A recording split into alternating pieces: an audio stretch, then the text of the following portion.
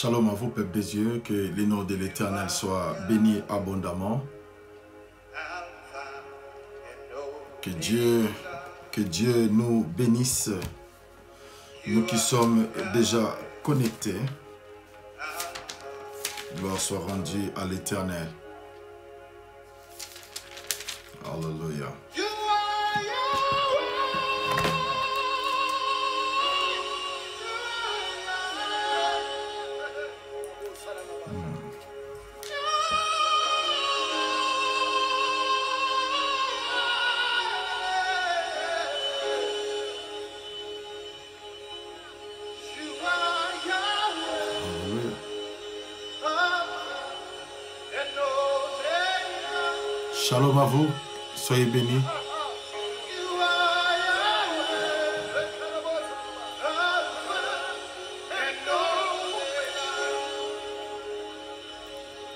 Abondamment bénis. Alléluia.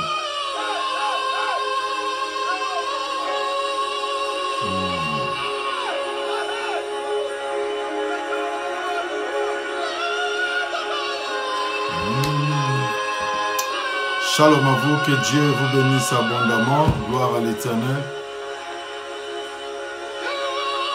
Yahweh, Alpha and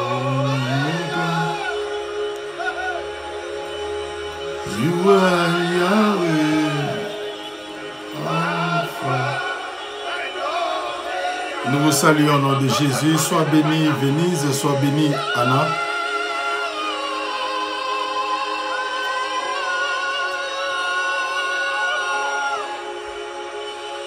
Alléluia. Shalom Letty. Sh- Shalom Mama Kombe Justine.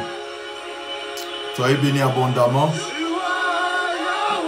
Alléluia. Sois béni Sabrina. Gloire à l'éternel, notre Dieu, qui est le Dieu vivant, qui est le Dieu puissant. Pendant qu'on se connecte, que Dieu nous bénisse abondamment. Alléluia.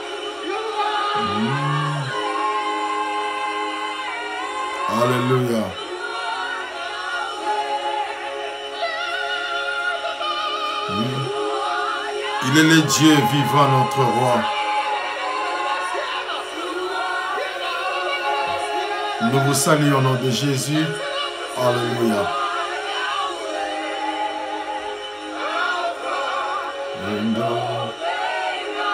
Alléluia. Pendant que les autres se connectent, nous, nous sommes dans la joie. Nous pensons que Dieu nous a fait réellement du bien. Il nous a protégés depuis le matin. Sois béni, prophète espoir Kairos. Alléluia. Soyez bénis, soyez bénis.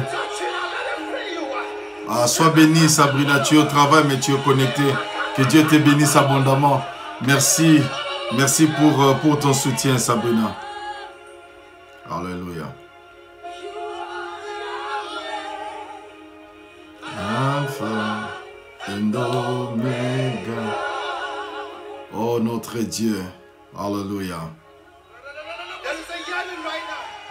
Alléluia. Nous allons commencer dans quelques minutes.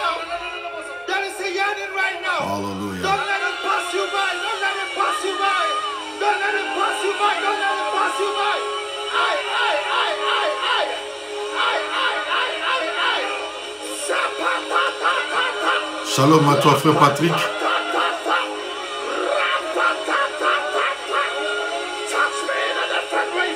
Que Dieu nous touche encore davantage. Alléluia.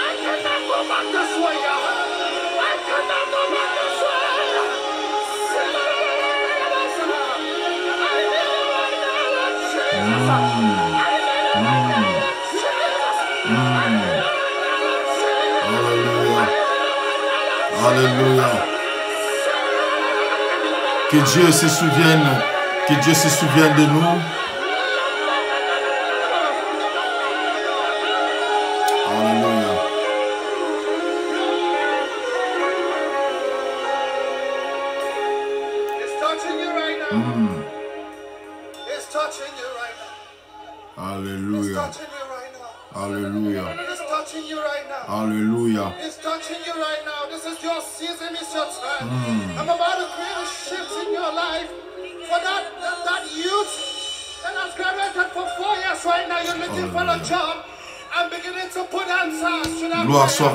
À l'Éternel. Bonjour, bonjour ma by. Pat de Bonhomme, que Dieu te bénisse. Shalom, mon prophète Francis go. Ngom Clément. Gloire soit rendue à l'Éternel. Que Dieu nous bénisse abondamment. Nous voulons, nous voulons commencer dans quelques minutes, précisément juste une minute. Nous, nous allons débuter notre, notre programme. Que Dieu, que Dieu nous bénisse. Et nous sommes vraiment ravis de la présence de tout un chacun de nous. Et nous croyons que à chaque fois que Dieu réunit ses enfants, c'est pour, euh, pour que Dieu nous fasse réellement du bien. Et du fond de mon cœur, je suis encore convaincu qu'en ce jour, Dieu va encore nous faire du bien. Que Dieu te bénisse, euh, mon papa Lombe Achou, à partir de Dallas, Texas. Que Dieu te bénisse abondamment, papa, pour ta fidélité. Et j'ai béni aussi maman Chiki. Au nom de Jésus, je vais prier le Seigneur. Notre Dieu, notre roi, nous bénissons ton nom. Nous te rendons grâce. Merci pour ta faveur et ta bonté que tu ne cesses de renouveler dans nos vies. Présentement, nous nous présentons devant ton trône pour que nous puissions recevoir ce qui vient de toi. Change le logos en réma. Bénis nos vies, que l'homme disparaisse, que toi seul tu paraisses. Au nom de Jésus, nous avons ainsi prié. Amen. Amen. Gloire, à l'éternel. Nous, nous, allons, nous allons débuter notre, service, si je peux le dire, car Dieu utilise tous les moyens pour bénir, son peuple. Et je crois fermement que ce soir, nous serons encore, euh, nous serons encore bénis par la parole de l'Éternel. Vous savez, le mois, le mois que nous avons débuté, le mois de- d'octobre, c'est un mois qui est tellement décisif où Dieu nous a donné la responsabilité et durant, cette, euh, durant ces mois, nous aurons à partager par rapport euh, à, au combat de notre, de notre euh, destinée. Vous savez, la vie nous présente beaucoup de choses et nous, nous rencontrons aussi beaucoup de combats, beaucoup de choses qui arrivent dans la vie, dans la vie chrétienne. Mais ce qui est beaucoup plus encourageant, c'est que Dieu est toujours là pour nous secourir. Dieu est toujours là pour nous aider afin que nous puissions aller encore, euh, aller de l'avant. C'est pourquoi ce soir, je vais par- partager avec nous la deuxième partie. Nous allons commencer ce que nous avons euh, pu parler à partir de le lundi, le, le dimanche passé. Savez, on a introduit et aujourd'hui, je vais faire un peu le overview, je vais un peu épingler certains points et à partir, euh, de vendredi, nous allons, aller encore euh, en profondeur. Mais avant, d'aller encore plus loin, je voudrais euh, présenter, souhaiter joyeux anniversaire à tous ceux qui fêtent leur anniversaire en ce jour, que ce soit ton frère, ta soeur, vraiment joyeux anniversaire, que l'éternel Dieu vous bénisse euh, abondamment. Et je voudrais d'une manière, euh, manière particulière présenter, euh, souhaiter mes joyeux anniversaire à ma, grande sœur, l'aînée de notre famille, qui aujourd'hui a totalisé 65 ans d'âge. Maman Michel, Micheline Sapou, que Dieu te bénisse en Allemagne, que Dieu donne encore la vigueur du buffle, que Dieu te protège, que Dieu te bénisse abondamment. Gloire soit rendue à l'éternel. Alors prenons nos Bibles dans les livres de Josué, chapitre 2, verset 1er au verset 24, et Matthieu chapitre 1er, le verset 5e.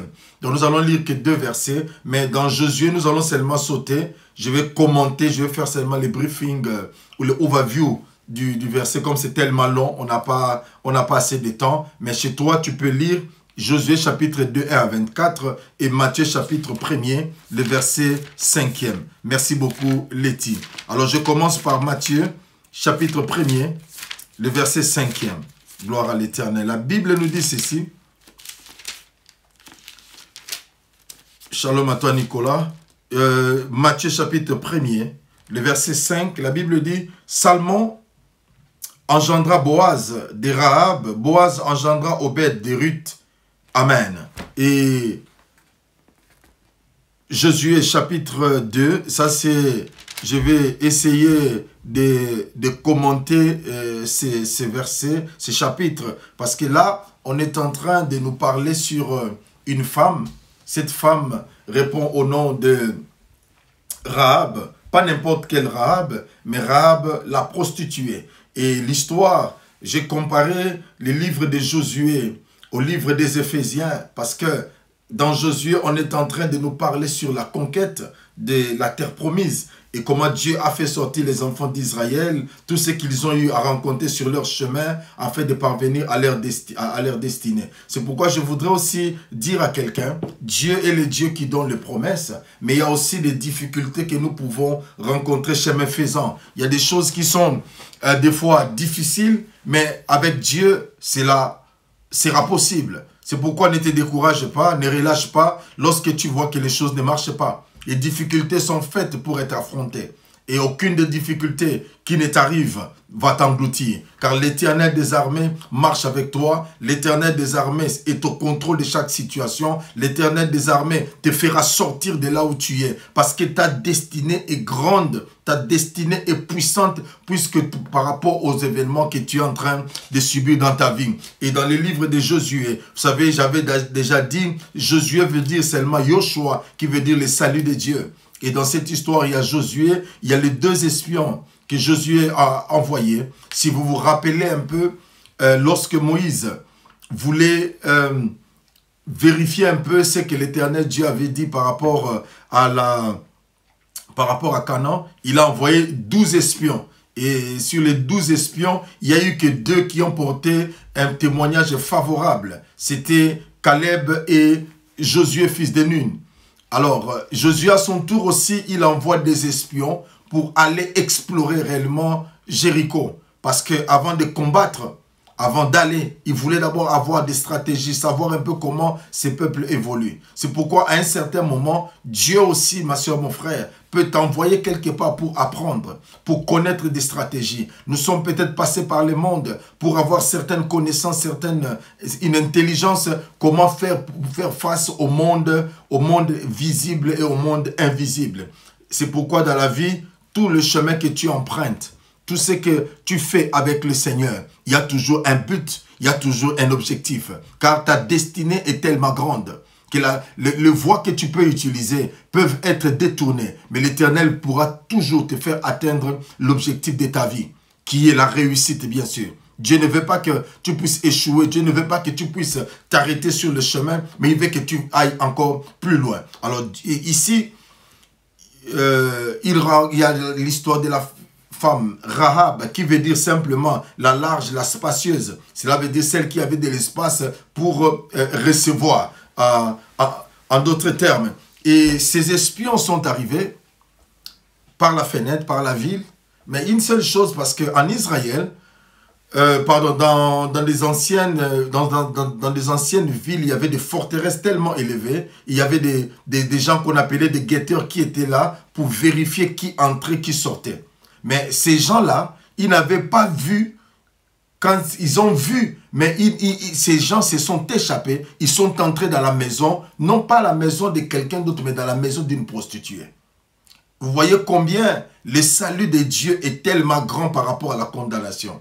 Les hommes peuvent te condamner, les hommes peuvent dire quoi que ce soit, mais lorsque Dieu te choisit, il est capable d'envoyer sa parole par son esprit nous convaincre afin d'abandonner la vie, la vie ancienne. C'est pourquoi, ma soeur, même si toi tu es en train de me suivre, mon frère, ta vie n'est pas droite, ta vie n'est pas bonne. Je veux simplement t'encourager. Donne ta vie à Jésus. Avance. Viens avec tes défauts. Viens avec tes faiblesses. Il sait comment lui-même il lave. Il sait comment lui-même comment il purifie. Ne t'en fais pas de ce que les gens disent, de ce que les gens pensent. Mais il envoie sa parole. Sa parole, c'est pour guérir. Sa parole, c'est pour restaurer. Sa parole, c'est pour remplacer les choses. Sa parole, c'est pour nous aider à aller encore euh, plus loin dans notre vie. Ne restez pas dans cet état, s'il te plaît. Ne restez pas euh, euh, euh, dans, cette position de faiblesse. Ne restez pas, s'il te plaît. Dieu a besoin de toi. Dieu veut travailler avec toi. Dieu veut opérer de grandes choses avec toi. C'est pourquoi il t'appelle. Il te dit, ne restez pas dans cet état. Viens, malgré tes faiblesses, malgré les infirmités. Mais viens, Dieu a besoin de toi. Il a envoyé les deux espions qui sont arrivés et Rahab les a reçus. Et qu'est-ce que Rahab a fait? Rahab a pris ces gens, il les a cachés. Quand le roi a appris qu'il y a eu les espions qui sont venus, il a envoyé ces gens pour dire à Rahab, fais-nous sortir ces espions, parce que nous savons qu'ils sont venus pour explorer, explorer la ville. Et Rahab a menti. Mais la Bible, normalement, ne pouvait pas donner ces récits du mensonge dans la, euh, dans la Bible. Mais si la Bible le permet, c'est pour montrer quelque chose. Simplement pour montrer la supériorité de la grâce par rapport à la loi. Parce que par rapport à la loi, même les espions qui sont entrés étaient condamnables. Parce que vous ne pouvez pas entrer dans la maison d'une prostituée. Vous comprenez? Vous ne pouvez pas entrer dans la maison d'une prostituée. Mais eux, ils sont entrés. Mais cette prostituée a encore menti. Bien aimé, la loi condamnait les gens. Jésus-Christ n'est pas venu pour abolir, mais il est venu pour accomplir la loi. Il est venu pour que ce que la loi interdisait, que ces choses tombent sur lui, afin que par sa mort, et par sa résurrection, nos vies puissent changer. Notre manière d'être puisse changer. C'est pourquoi je bénis grandement le Seigneur pour ce qu'il a accompli dans notre vie. Je bénis grandement le Seigneur pour ce qu'il a fait dans ta vie. La loi pouvait te condamner. La loi pouvait dire que tu n'es pas qualifié pour le salut. La loi pouvait dire que les femmes n'ont pas droit à l'héritage. Mais la grâce dit, même si tu es une femme, tu as droit à l'héritage. Même si tu es né d'un parent pauvre, le Seigneur des armées t'a donné un héritage. Voilà, bien-aimé dans le Seigneur. La grâce, bien-aimé. La grâce est une faveur qui est imméritée. Nous n'avons pas mérité cela. Rahab n'a pas, euh, mérité cela. Mais Dieu l'a choisi. Vous savez, Dieu a choisi une prostituée. Pas une femme normale, mais une femme prostituée. Dans la ville, elle avait une réputation. Mais la seule chose, ma soeur, mon frère, quand Dieu des il entre dans ta vie, il change la mauvaise réputation en bonne odeur. Les gens que le monde ne pouvait pas calculer. Mais lorsque le Seigneur vient dans ta vie, il a la capacité de modifier. Il a la capacité de changer. Partout là on pouvait, on pouvait t'accuser. Partout là on pouvait dire des choses, ma soeur. Dieu est le Dieu qui est vivant. Et lorsqu'il s'élève, il est capable de tout changer. Et je crois bien aimé que Dieu est disposé pour changer ton témoignage. Toi-même qui es en train de me suivre, ton témoignage n'est pas bon. Les gens parlent, même toi-même tu le sais, que ton témoignage n'est pas bon. Mais ce n'est pas grave. Dieu est venu pour changer ton témoignage. Il est venu pour modifier ton témoignage, car il est le Dieu qui connaît ta vie. Il est le Dieu qui est vivant. Et c'est pourquoi nous voulons parler sur le combat, le combat de ta destinée. C'est vrai, Dieu nous a promis des choses. C'est vrai, Dieu nous a préparé dans la grandeur. Mais il y a des choses que nous rencontrons sur notre chemin qui nous empêchent d'aller de l'avant, qui retardent notre course. Vous savez, lorsque tu es seul et que tu cours, la vitesse sera tout autre. Alors que lorsque tu cours avec quelqu'un, tu vas aussi courir, mais la vitesse ne sera pas la même. Bien aimé, le diable essaie à tout prix à retarder notre course, en nous surchargeant des fardeaux inutiles, en, en amenant des condamnations inutiles dans notre vie, en nous disant certaines choses qui nous empêchent d'aller de l'avant en, nous faisant défiler notre passé pour te dire, regarde ton passé, comment comment c'était médiocre. Regarde ce que tu as fait. Est-ce que tu penses que c'est Dieu là peut te pardonner? Et à un certain moment, c'est pourquoi je parle toujours aux chrétiens. Lorsque dans ta vie, on parle des choses, par exemple, on est en train de prêcher sur la repentance, on dit que ceux qui ont commis les avortements, tu continues toujours à pleurer, c'est que tu n'as pas encore confiance, tu n'as pas encore compris l'assurance du salut. Le salut, c'est quelque chose qui est gratuit. Lorsque Dieu te sauve, Lorsque Dieu te pardonne, tu n'as pas besoin de sensations. Tu n'as pas besoin de sentir que Dieu t'a pardonné. Mais c'est par la foi. Et lorsque ta foi croit que Dieu t'a pardonné, point bas, c'est ça le plus, c'est ça le plus important. C'est ça le plus important. Dieu t'a pardonné et tu dois marcher. Même si on est en train de parler en disant Dieu condamne les voleurs. Quand bien même tu l'étais, mais tu l'es plus. Il n'y aura plus de condamnation dans ta vie. Il n'y aura plus de condamnation. Parce que l'éternel Dieu, il est le Dieu qui t'a déjà justifié. Il t'a déjà pardonné. Est-ce qu'on comprend? Même si tu étais une femme prostituée, même si tu as commis des avortements, mais lorsque Dieu te pardonne, bien aimé, quand Dieu te pardonne, il te justifie. La justification veut dire que tu es acquitté de tout ce qui pouvait être mal, de ton péché, de ton passé médiocre, de tout ce que tu pouvais croire tout ce qui est passé, passé. C'est pourquoi un chrétien qui ne comprend pas le salut, qui ne comprend pas la justification, qui ne comprend pas la rédemption, le, si tu es un candidat, le diable se moquera de toi. Dans la pensée de Dieu, lorsqu'il nous pardonne, c'est comme si nous n'avons jamais commis de péché dans le monde. C'est comme si nous sommes nés des saints. C'est pourquoi aucune chose ne peut encore revenir pour te condamner. Mais il y a des combats que nous subissons dans la vie. Et j'avais dit, les premiers combats que nous connaissons dans notre vie, c'est d'abord la conception. La conception. Frères et sœurs, pour que tu sois vivant ou vivante, il y a eu deux personnes qui se sont unies. Et par l'union de, ces deux personnes, ça peut être une, une union volontaire ou involontaire. Ça peut être voulu ou non voulu. Mais le fait que tu existes déjà, il y a eu deux personnes. C'est pourquoi la Bible ne parle pas d'un mariage entre les homosexuels et des lesbiennes. Simplement parce que la sémence vient de l'homme et c'est la femme qui la porte. Est-ce qu'on comprend? C'est pourquoi la Bible parle d'un homme et d'une femme. Mais le monde est en train de parler d'un homme, d'un homme et d'une femme et d'une femme. C'est ça le vie, c'est ça le contraire. Mais nous savons que le mariage dans la Bible, c'est entre homme et femme. Et au moment de ta conception, il y a eu concours, il y a eu bataille. Mais toi, tu es sorti vainqueur. Peut-être que vous êtes sorti à deux. On vous appelle des jumeaux ou des jumelles. Et ça, c'est la conception. Et pendant la conception, il y a maintenant le combat. Lorsque l'œuf est fécondé, lorsque tu deviens maintenant comme un fœtus, comme nous dit la Bible dans le livre de Jérémie chapitre 1er, versets 5 à 6. La Bible est en train de parler en disant que lorsque tu étais encore informe, moi je te connaissais. Donc pendant que tu étais conçu, Dieu avait déjà un plan. Il y avait déjà aussi un combat qui s'était engagé contre toi.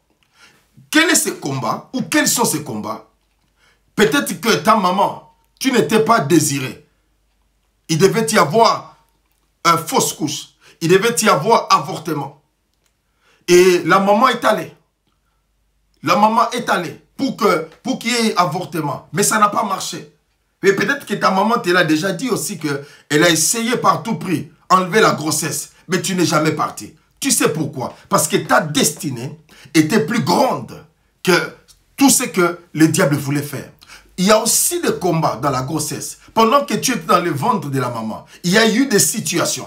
Il y a eu peut-être que le papa et la maman s'est chamaillés à tout moment. Et l'enfant qui est déjà au niveau du ventre est déjà affecté. C'est pourquoi il y a des enfants qui naissent, qui naissent tristes.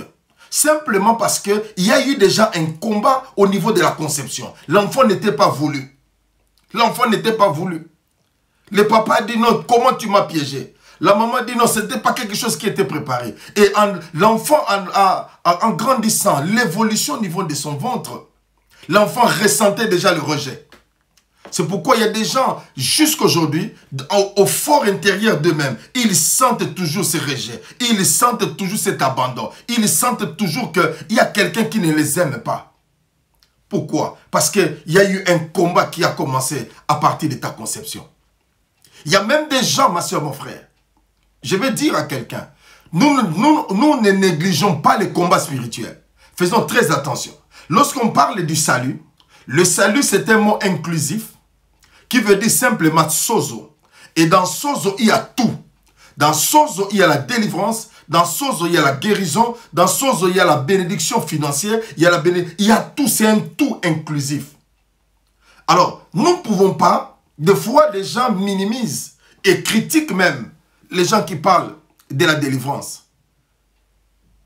Je vais dire à quelqu'un, il faut prêcher l'évangile dans son entièreté. Mais chacun de nous, Dieu a donné une grâce spécifique pour accomplir une mission. Alors si tu as la grâce donnée, tu ne peux pas mépriser l'autre. Parce que c'est pour l'édification du corps du Christ. Parce que la main ne dira pas à la bouche que non, tu n'as pas de la valeur. Parce que la main fait quelque chose et la bouche aussi. La bouche, il y a des dents. Il y a la langue. Est-ce que vous comprenez? C'est pour dire que nous marchons dans la complémentarité. Pas de critiques, mais dans la complémentarité pour que l'œuvre, pour que le peuple de Dieu soit béni. Et parlons de cet enfant qui est né dans un environnement hostile, où pendant la grossesse, les parents étaient en train de se battre à tout moment.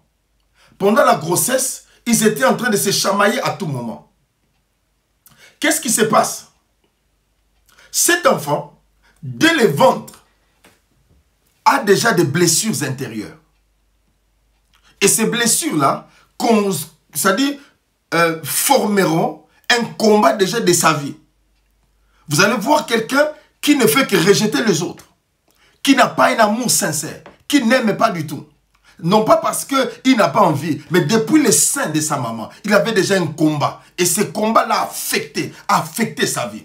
Peut-être que tu es en train de me suivre aussi. Il y a des choses qui se sont passées pendant que tu étais dans la grossesse. Dans ton innocence, tu n'as pas été aimé, tu n'as pas été voulu. Tu n'as pas été désiré et les gens t'ont repoussé. Même ta maman t'a repoussé. Tu as ressenti cela. Mais je veux te dire une chose. Il y a un Dieu au ciel. Il y a un Dieu au ciel qui t'a aimé. Parce qu'il a dit dans sa parole, lorsque tu étais informe et vide, moi l'éternel, je te connaissais. Je t'avais déjà établi. Dieu te, Dieu te connaissait. Dieu savait que ce soir peut-être, ça peut être la toute première fois que tu puisses entendre ces choses. Peut-être que toi aussi, tu traverses ces situations, mais tu l'as dit à personne. Mais l'éternel Dieu est en train de te parler en disant, peu importe le rejet des parents, mais le fait que tu n'es pas mort et que tu es en vie, Dieu est capable de combattre avec toi. Dieu est capable de t'amener encore de, loin. Dieu est capable d'accomplir encore de grandes réalisations dans ta vie. Raison pour laquelle n'accroche pas trop à ce que les gens disent, même ton cœur. La Bible dit, il changera nos cœurs de pierre en cœur de chair. C'est-à-dire un cœur qui est sensible un cœur qui est réceptif, un cœur qui ne, qui, ne, qui, ne reste pas toujours attaché pour dire que mon papa ne m'a pas aimé. Depuis le ventre, je ne, sens pas l'amour de ma mère. Mais une seule chose, Dieu t'aime. Dieu t'aime. Ça fait, ça, fait, ça fait partie des combats de ta vie. Ça peut partie des combats de ta destinée. Et Dieu est le Dieu qui t'a gardé en vie. Non pas pour que tu te rappelles de ces choses, afin que tu deviennes rancunier ou rancunière, afin que tu aies un mauvais cœur par rapport à d'autres. Mais je vais te dire une chose. Ce n'est pas le fait que tu as connu le mal que forcément tu dois s'y rendre le mal. Non, non.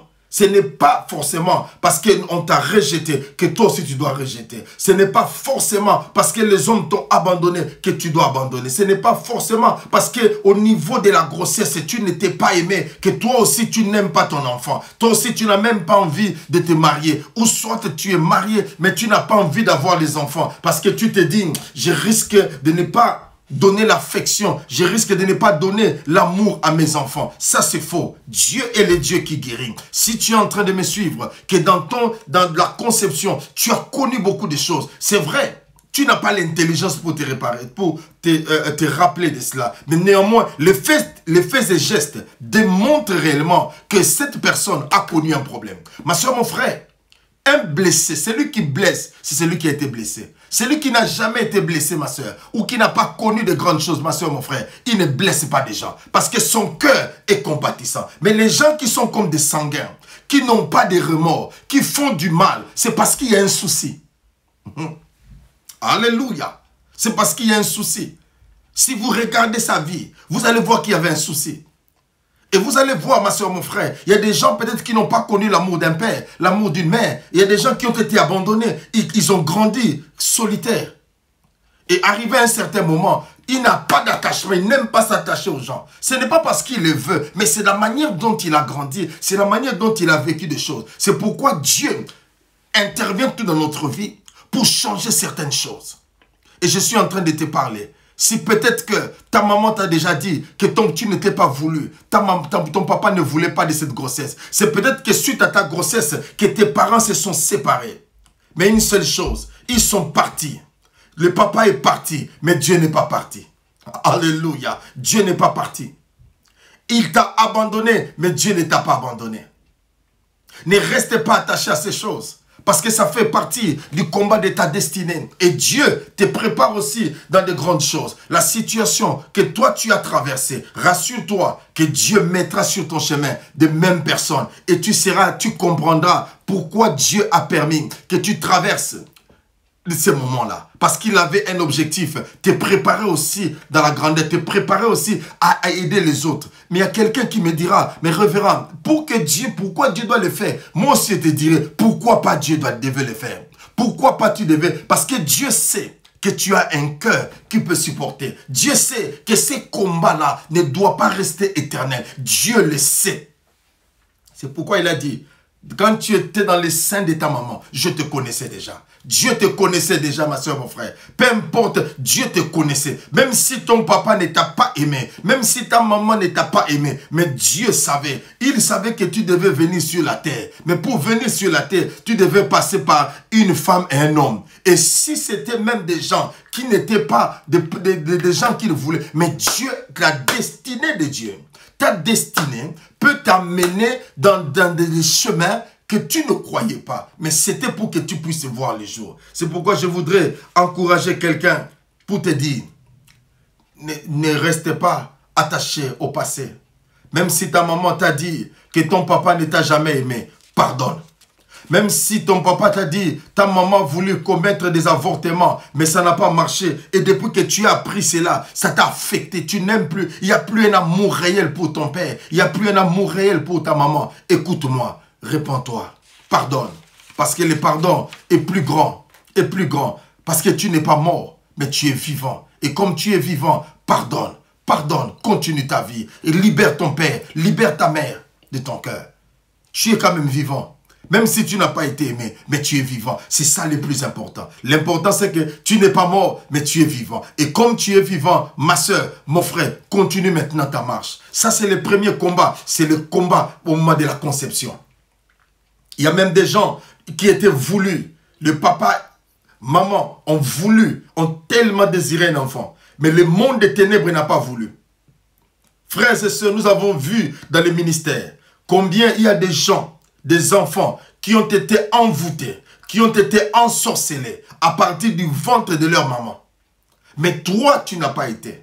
Parce que Dieu t'a épargné. Ne pense pas qu'il n'y a pas eu de gens qui ont voulu, qui ont essayé. Mais grâce à Dieu, Dieu t'a protégé. C'est pourquoi le psaume, chapitre 23, pouvait dire, L'Éternel est mon berger, je ne manquerai de rien.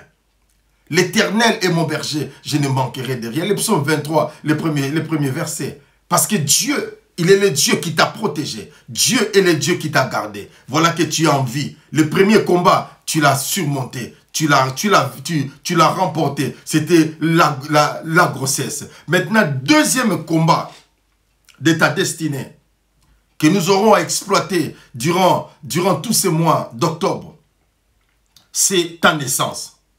La naissance, bien aimé. la naissance.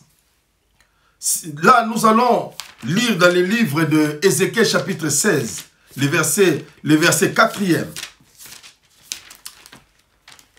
Ézéchiel chapitre 16, le verset 4.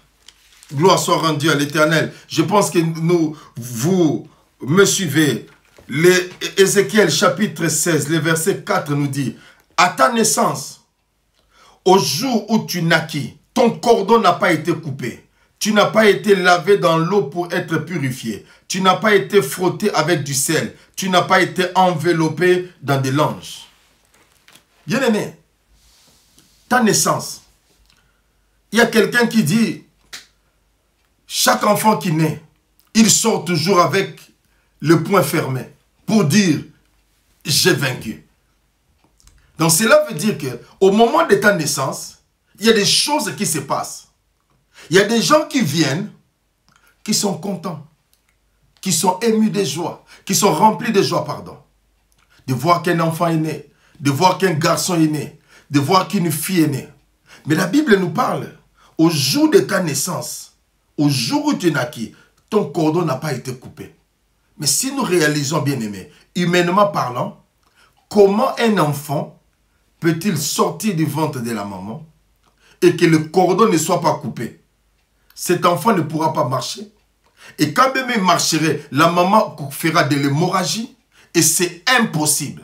Mais en d'autres termes, la Bible veut simplement nous dire, lorsque quelqu'un est né, ça c'est dans une double dimension. Dans la dimension physique, cela veut dire que la personne est, reste toujours attachée à, sa maman. Dans, la dimension spirituelle, c'est que la personne, malgré que elle est dans le Seigneur, mais elle s'attache au principe, euh, je veux dire, euh, de famille. Parce que tout principe de famille n'est pas mauvais. Mais tout ce qui va à l'encontre de la volonté de Dieu, c'est là où c'est mauvais. Je donne un exemple. Tu peux peut-être être là, en famille, vous parlez votre dialecte. Il n'y a pas de péché en cela. Mais lorsqu'on commence à faire certaines pratiques comme des incisions ou quelque chose pour te dire ça, ça peut amener la, la, protection, mais pourtant nous savons que Dieu est le Dieu qui nous protège. Là, ça va à l'encontre de la parole de Dieu, nous ne le faisons pas. Mais alors, au jour de la naissance, qu'est-ce qui peut arriver? Dans le ministère, j'ai vu beaucoup de choses. Il y a des gens au moment de la naissance, certaines pratiques sont faites sur leur corps. On te dit par exemple, je donne euh, en République démocratique du Congo, dans ma, dans ma région, après que tu sois né trois filles et que tu nais un garçon, il y a des cérémonies qui doivent être faites sur toi au moment de ta naissance. Cela veut dire que tu seras un homme de femme. Et si tu, dans ta naissance, dans ton, dans ton innocence, tu n'es pas informé de cela. Mais il y a eu cette pratique qui a été faite sur toi. Et au moment où tu grandiras, tu verras maintenant l'impact de ces choses. Parce que certaines pratiques qui sont faites sont à effet a posteriori. En d'autres termes, que lorsque on fait des pratiques aujourd'hui, les effets se manifesteront peut-être après 20 ou 25 ans. Et arrivé à cet âge, tu commenceras à subir certaines choses, te poses la question, mais je n'ai pas péché. Mais j'ai été chrétien, j'ai donné ma vie. Mais sauf que ces pratiques qui ont été faites n'ont pas été détruites. Est-ce que quelqu'un me comprend? Parce qu'au moment de la naissance, il y a beaucoup de choses qui se passent. Il y a d'autres qui sont consacrés. Il y a dans d'autres tribus, lorsqu'un garçon est né, on le fait entrer dans l'eau et on lui monte une machette. Et euh, l'enfant grandissant, on dit c'est pour euh, euh, chasser un peu la peur du garçon. Mais on verra que facilement, il peut se transformer en un tueur d'élite, sans pour autant qu'on le sache. Pourquoi? Parce qu'au moment de sa naissance, il y a eu des choses qui se sont passées. Il y a des gens au moment de leur naissance, il y a des femmes qui viennent laver les enfants. Et en lavant les enfants, il y a des gens ma soeur, mon frère, qui se sont retrouvés dans la stérilité aujourd'hui, non pas parce que l'éternel Dieu les a appelés à la, euh, à la stérilité, mais parce qu'il y avait des paroles qui ont été prononcées. Il y a des femmes, lorsqu'on lave, des filles, touchent des parties intimes et prononcent des paroles.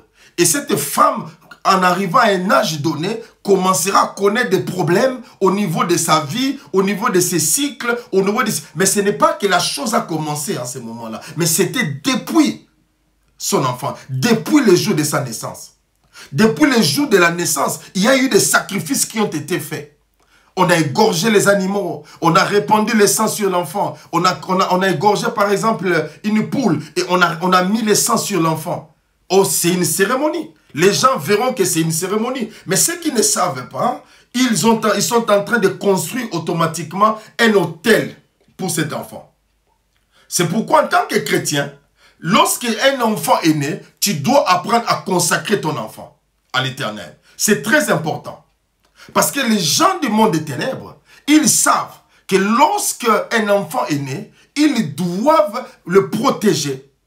Ils, pourquoi? Parce que dans le monde des ténèbres, c'est tellement, il y a tellement de choses que lorsqu'il y a un chef, il y a euh, un sorcier qui est élevé en puissance, il a la capacité, dans le monde des ténèbres, il a la capacité de venir et enlever les démons qui étaient dans la vie de quelqu'un et amener ses propres démons parce qu'il est plus fort que l'autre.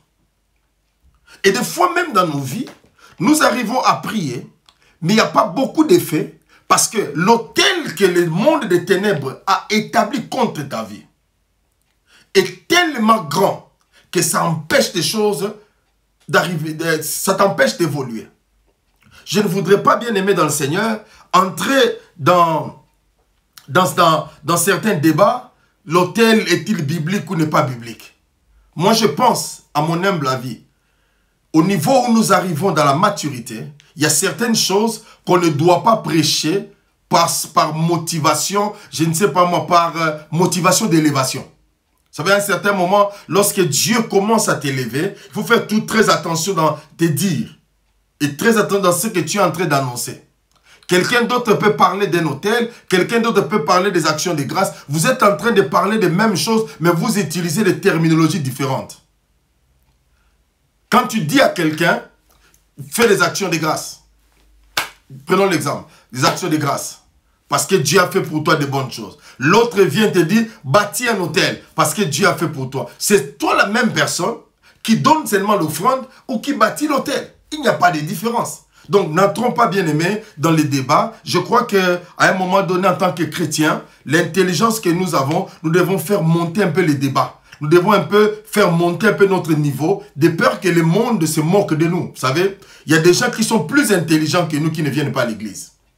Alors, lorsqu'ils écoutent qu'il y a des guerres à cause des terminologies, ça les empêche même de venir dans le Seigneur. Ça les empêche même de suivre la parole. Donc, n'entrons pas trop dans ces débats-là. Si Dieu met à cœur de bâtir un hôtel, gloire au Seigneur, de faire l'action de grâce, gloire au Seigneur. Si tu ne veux pas utiliser le terme bâtir l'hôtel, gloire à Dieu, tu utilises le terme euh, action de grâce, gloire à Dieu.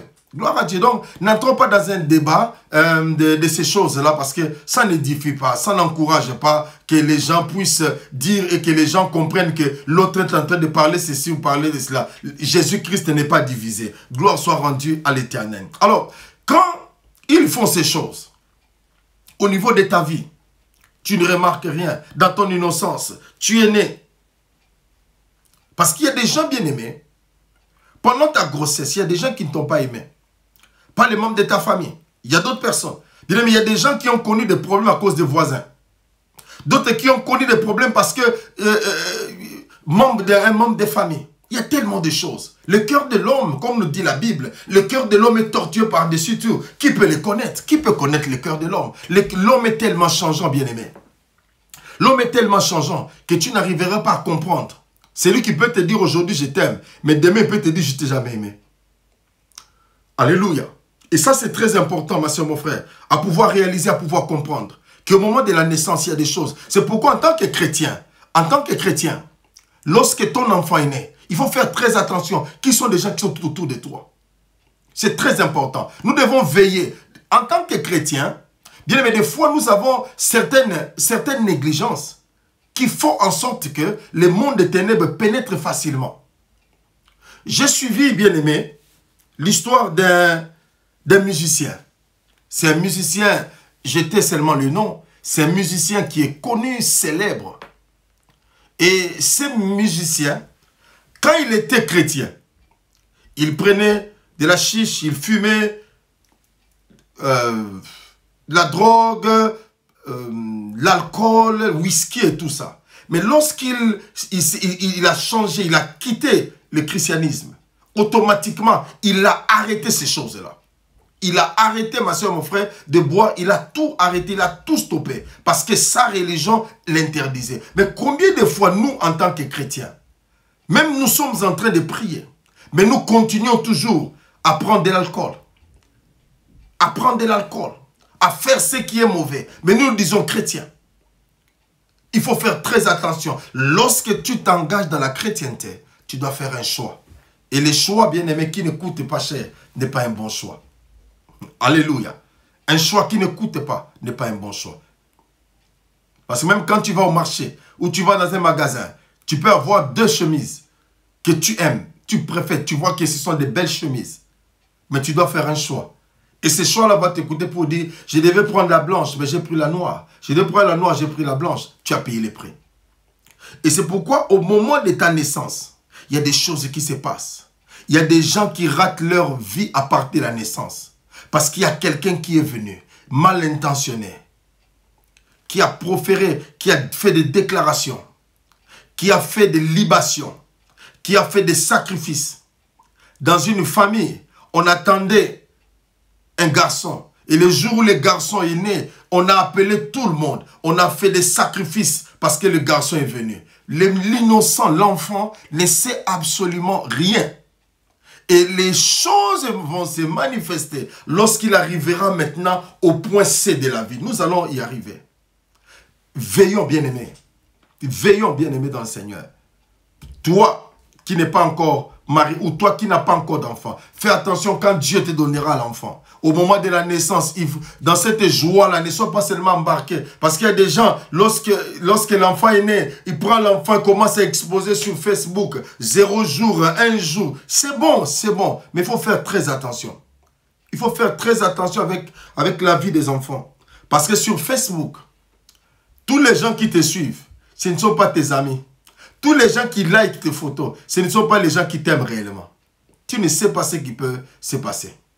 Tu ne sais pas. Il y a des enfants qui sont seulement envoûtés à partir des photos qui, qui ont été mises sur Facebook. N'ayant pas une protection, l'enfant est livré à lui-même. Pourquoi? À cause de l'erreur des parents. En voulant trop exposer l'enfant. Mon enfant est belle, est, beau, ma fille est belle. Tu exposes. Et mais tu ne sais pas qu'il y a des gens bien aimés qui travaillent avec des photos. Je vais vous donner un témoignage j'étais en train d'encadrer un couple. Et ce couple avait un problème. Ils sont venus auprès de moi. Je leur ai dit, nous devons entrer en prière. Ils se sont dit, bon, on a commencé la prière. La femme dit, non, je connais un prophète. Je connais un prophète. Ils, ont appelé le prophète, Bakom.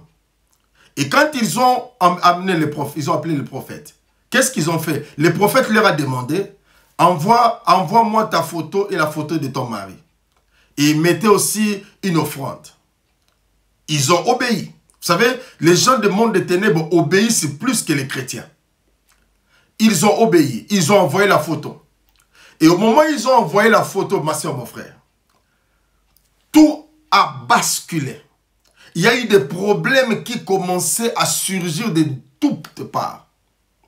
Et au moment où je vous parle aujourd'hui, ces couples, ils se sont séparés d'une mauvaise manière. Ils se sont insultés d'une manière... Et quand les choses ont commencé, ils sont venus me dire après, non daddy, il y a un problème. On ne t'avait pas dit. On avait envoyé nos photos. On avait envoyé l'offrande. Et je leur ai posé la question. Moi, j'ai pris avec vous. Est-ce que je vous ai demandé l'offrande?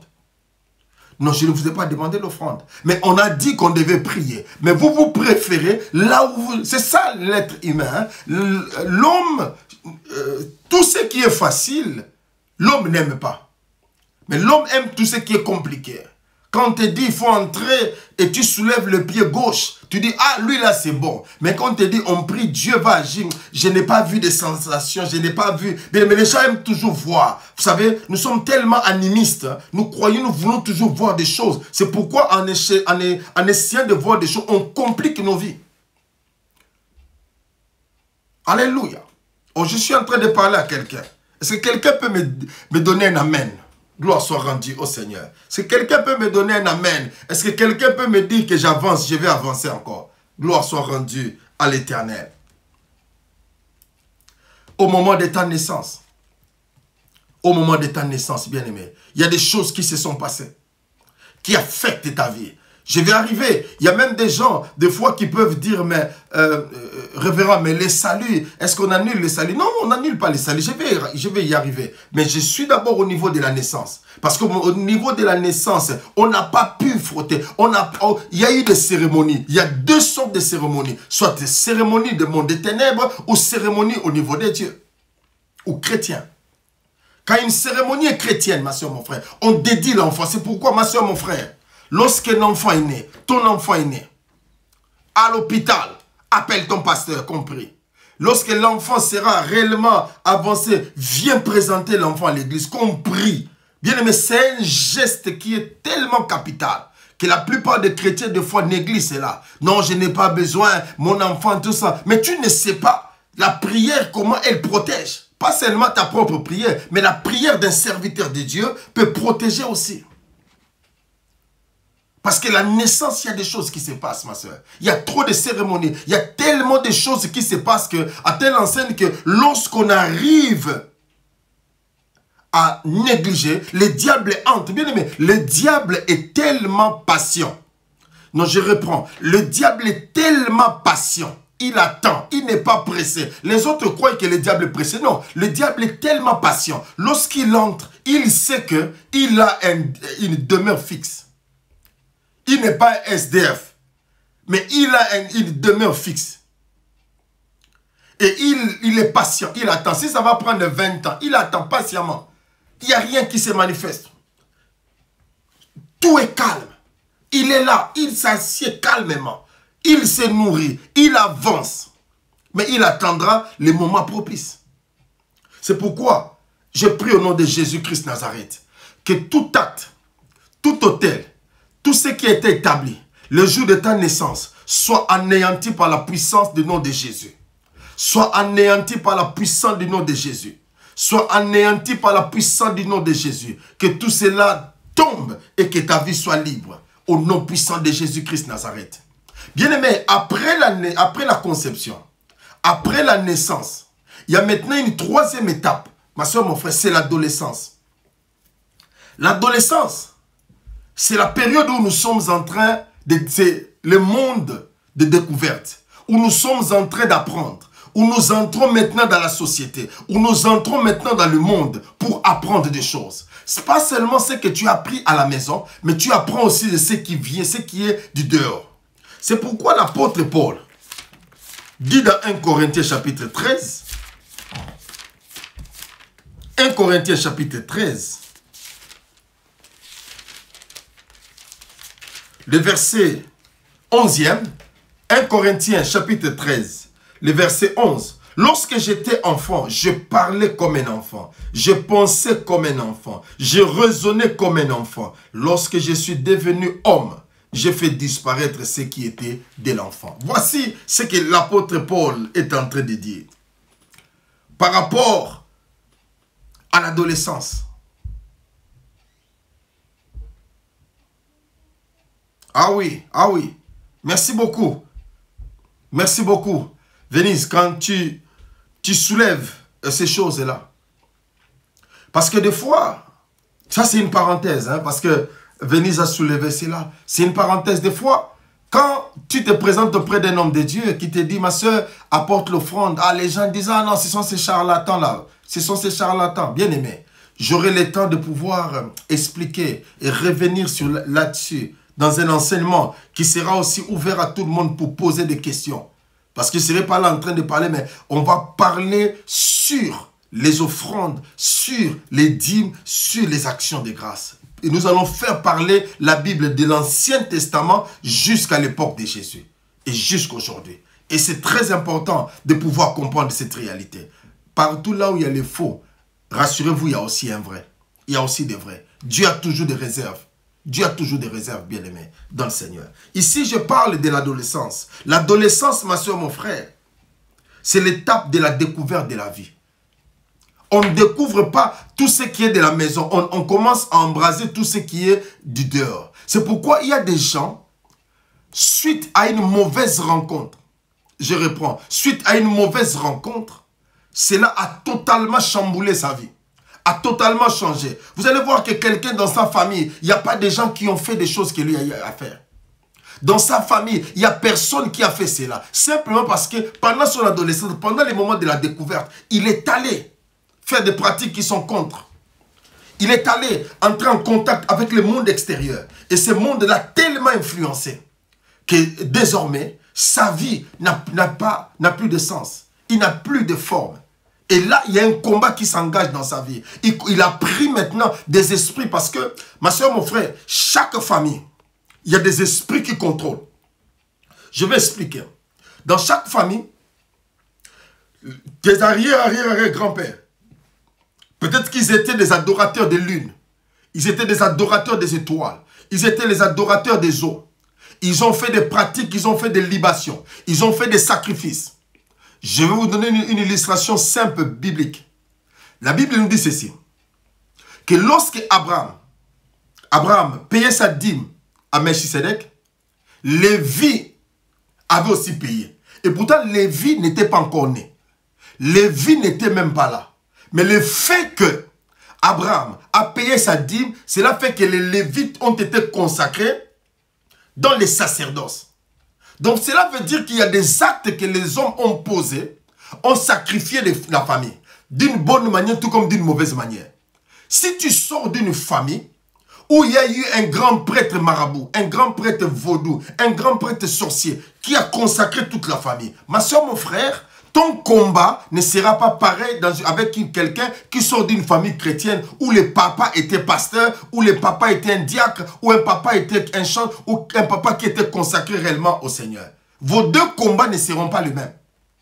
C'est pourquoi quand nous venons à l'église, ne nous identifions pas à tout le monde. Parce que chacun de nous a son background. Chacun de nous a un lieu où il vient. Il a, il a, il a une provenance. Et sa provenance peut être mauvaise. Sa provenance peut être bonne. C'est pour vous faire très attention. Dans les églises, il y a aussi des agents du diable qui viennent. Et qui viennent pourquoi? Pour décourager les gens. Il voit ton étoile. Il sait comment Dieu, il sait comment te... C'est pourquoi même Paul est en train de dire à Timothée, souviens-toi de la foi qu'il y avait dans tes aïeux. Donc cette foi a permis que Timothée puisse être sauvé. Alors qu'il y a des gens comme Alexandre le forgeron qui ont fait du mal. Je vous donne l'exemple de Judas Iscariote. Son problème, c'est lequel? Son background, son passé, là où il venait, ils étaient des cupides. Et c'est ce qui fait que le combat-là a continué jusque dans sa vie. A continué jusque dans sa vie. A fait en sorte qu'il devait non pas parce qu'il a été destiné pour vendre Jésus, parce qu'il n'a pas été, écoutez-moi, il n'a pas été destiné à vendre Jésus. Mais la prophétie devait s'accomplir. Et cette prophétie s'accomplissait simplement parce qu'il y avait quelqu'un qui avait un combat. Et dans son combat, c'était la cupidité. Et qui devait vendre Jésus? Quelqu'un de qui devait être un cupide. Et cet esprit-là, quand Jésus, il a trempé son pain, il a dit à Jean, c'est lui qui trempe le pain avec moi, c'est lui qui va me trahir. Et lorsque Judas a trempé, automatiquement la Bible dit que cet esprit-là est entré en Judas. Donc avant cela, Judas ne l'avait pas. Mais pourquoi Jésus ne pouvait pas intervenir? Bien-aimé dans le Seigneur, une chose qu'on doit savoir, chacun de nous, en nous, nous avons ce qu'on appelle le libre arbitre. De faire un choix. Alléluia. De faire un choix dans ta vie. Tu dois savoir quel est le choix que tu fais. Tu peux naître d'une famille chrétienne. Ton papa peut être pasteur. Mais dans l'adolescence, tu commences à embrasser des choses. Et c'est en ce moment-là que les gens font des découvertes. Ils vont se plonger dans des choses que le papa n'a jamais fait. Ma prière, bien aimé dans le Seigneur, est que si tu es un enfant qui est encore adolescent, que la grâce et la faveur de Dieu se manifestent. Que Dieu les garde, que Dieu les protège. Que Dieu le préserve de tout mauvais contact. Que la sémence de Dieu parle, crie en sa faveur. Même s'il y a des mauvais amis. Mais que Dieu utilise des circonstances pour ramener nos enfants sur le droit chemin. L'adolescence, bien aimé. Et pendant l'adolescence, c'est aussi un moment où le diable peut encore jeter des sémences que tu n'avais pas, qu'aucun membre de ta famille n'avait pendant l'adolescence, le diable peut envoyer même certaines maladies que tu n'avais jamais. Il n'y a, même pas eu au niveau de ta maison. Le diable peut le faire. Ça, c'est notre troisième, troisième combat. Le quatrième combat par rapport à notre destinée, ma soeur, mon frère, c'est la maturité. C'est pourquoi même Paul a dit Lorsque j'étais enfant, toujours dans 1 Corinthiens chapitre 13, le verset 11, lorsque j'étais enfant, je parlais comme un enfant, je pensais comme un enfant, je parlais comme un enfant, je raisonnais comme un enfant. Lorsque je suis devenu homme, lorsque je suis devenu homme, lorsque j'ai atteint la maturité. La maturité, ma soeur, mon frère, c'est l'étape la plus importante. C'est l'étape de décision. dans ta vie. Là, tu n'as plus besoin de ton père. Tu n'as plus besoin de ta mère. Maintenant, tu fais face à ta destinée, dans la maturité de ta vie. Et pendant ce temps de maturité, c'est le moment où le diable viendra aussi pour te montrer, pour te montrer tes lacunes, pour montrer tes erreurs. Et c'est dans ces moments-là aussi que les mauvaises semences que le diable avait plantées, si pas pendant la conception, si pas pendant la naissance, si pas pendant l'adolescence, si ces choses, au moment de ta grossesse, il a planté, ça ne se manifeste pas. Au moment de ta naissance, il a planté, ça ne se manifeste pas. Mais ça attendra maintenant ce moment-là. Et vous allez voir, quels sont ces signes? Tu vas chercher du travail, tu as, tu as terminé l'université, tu as étudié brillant en tout, mais pour qu'on t'engage, ça devient un problème. Tu te poses la question, mais qu'est-ce qui se passe dans ma vie? Ce qui se passe, c'est quoi? Au moment de ta naissance, il y a quelqu'un qui a fait un sacrifice. Pour sacrifier, pour dire qu'au moment où il atteindra l'objectif, qu'il puisse échouer. Mais toi, tu ne savais pas. Tu arrives à un moment, donné, à l'âge de te marier. Il y a des fiancés qui arrivent, qui viennent, qui partent, qui partent du, coup. Lorsque vous êtes dans des copinages, il n'y a pas de souci. Mais lorsque c'est le moment de faire le sérieux pour s'engager dans le mariage, ils partent tous. Ils partent tous. Même les femmes, même les filles quittent. Tu te poses la question, mais qu'est-ce qui se passe? Ma soeur, mon frère, premier fiancé est parti. Deuxième est parti. Troisième partie, quatrième. Non, non, il faudrait un peu t'asseoir et réfléchir. Réfléchir, qu'est-ce qui se passe? C'est vrai, il y a des aventuriers qui viennent. Mais pourquoi seulement auprès de toi qu'il y a des aventuriers qui viennent? Tu as déposé cette question. Et il faut prier par rapport à ça. Je ne dis pas forcément, je ne dis pas forcément que ce soit des mauvaises semences du diable. Mais ça peut aussi. C'est les Français, hein Je ne dis pas forcément, mais ça peut aussi être là. Parce qu'imaginez que tu es né, tu es belle, tu es né dans une famille. Et tu arrives à un moment donné. Ça peut être même les membres de ta propre famille. Tes soeurs ne se marient pas. Mais toi, on vient te proposer. Et tu sentiras cet engouement dans le cœur. Tu sentiras que les gens ne veulent pas t'aider. Ils n'ont pas, envie que tu partes. Il y a même des gens qui disent non, tu es encore enfant. Pourquoi tes soeurs sont encore là? Pourquoi tu dois te marier Bien aimé, le mariage, le mariage, ce n'est pas un problème d'âge. Ce n'est pas forcément que l'aîné doit se marier avant les petites. Non, c'est écrit nulle part dans la Bible. Parce que quand la grâce de Dieu localise, la grâce de Dieu peut localiser les plus petits, les plus jeunes. C'est pourquoi David a été localisé, sélectionné par rapport à Eliab. Et lorsque ces choses se manifestent, tu commences avoir un combat au niveau de ta famille. Les, tu présentes, il y a un fiancé qui arrive, on le chasse, on l'aime pas. Non, il, il, n'a pas d'argent. Il est vilain, il est ceci. Et toi aussi, tu te laisses premier, deuxième, troisième. Ma soeur, il faut faire très attention parce que le diable est rusé. Le diable attend parce qu'il sait que le grand combat qu'il livre, c'est par rapport aussi aux familles. Parce qu'il sait qu'une famille stable, que tu trouves un homme idéal, une femme idéale, tu auras un avenir. Je vous dis la vérité, lorsqu'un couple est idéal, lorsqu'un couple est stable, les enfants qui en sortent sont différents des enfants qui sortent de couples divisés. Excusez-moi de le dire. Un enfant qui a grandi dans une maison où papa et maman sont là avec un amour, une affection totale. Ces enfants grandissent d'une autre manière. On a fait une analyse aux États-Unis. La majorité, presque 70% des jeunes gens noirs américains qui entrent en prison, ce sont des enfants qui ont grandi sans papa. Ils ont grandi sans papa. Et c'est ce qui fait que cette lacune-là, de la présence d'un père, le pousse à commettre des actes ignobles qui les amènent en prison. C'est pourquoi le diable attend pour combattre dans le mariage, pour t'empêcher d'aller dans le mariage.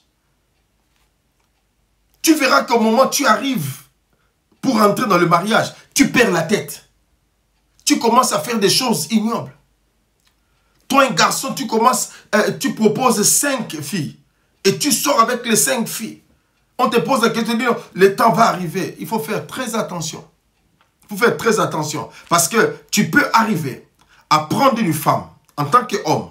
Mais la femme là n'était pas la femme idéale. Tu, tu en verras de toutes les couleurs, ma soeur, mon frère. Tu en verras de toutes les couleurs. C'est pourquoi il faut faire très attention. Très attention. Parce que le monde des ténèbres nous attend. Ça peut ne pas être dans le mariage, mais ça peut être au niveau du travail.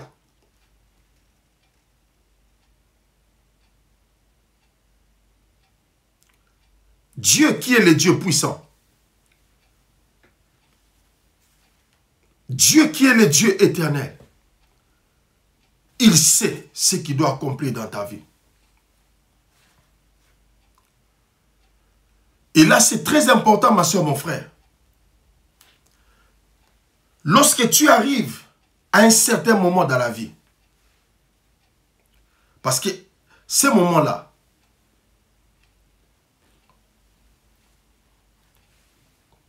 gloire soit rendue à l'éternel.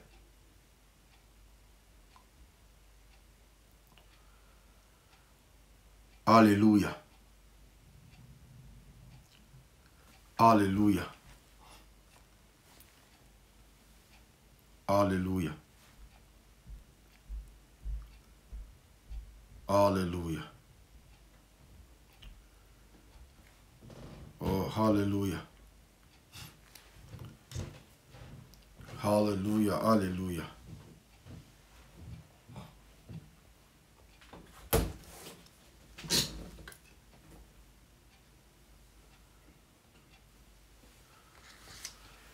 J'ai comme l'impression que la connexion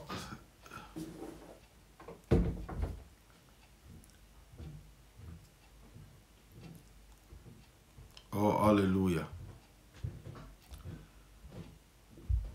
Alléluia. Je ne sais pas si euh, la connexion est bonne. Je ne sais pas si vous pouvez me faire signe.